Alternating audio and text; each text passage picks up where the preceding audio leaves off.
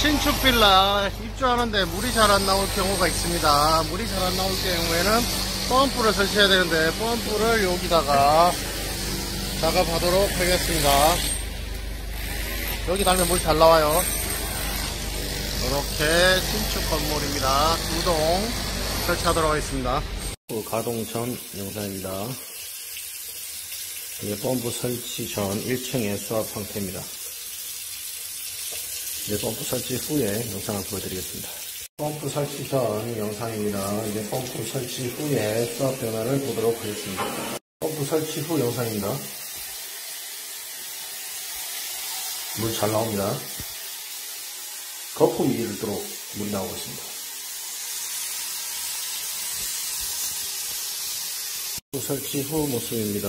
물소리가 달라졌어요. 물소리가.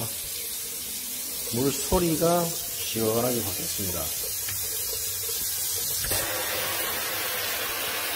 그래, 이렇게 해줘야 설거지할 맛이 납니다. 수압 설치 후 임무 완수. 신축 건물 수압 올려기 작업입니다. 오, 변기 물 내려가요. 변기 물 내려가도 수압 이 정도로 잘 올라옵니다. 이제 집다 분양되길 바랍니다. 설치 후 수압 테스트.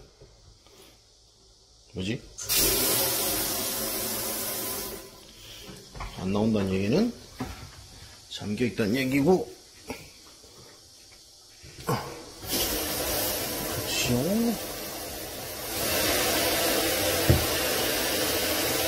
오! 대박!